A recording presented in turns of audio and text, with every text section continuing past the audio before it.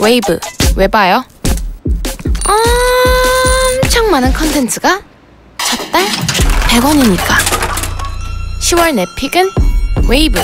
그 어떤 시간이든 just dive. Wave.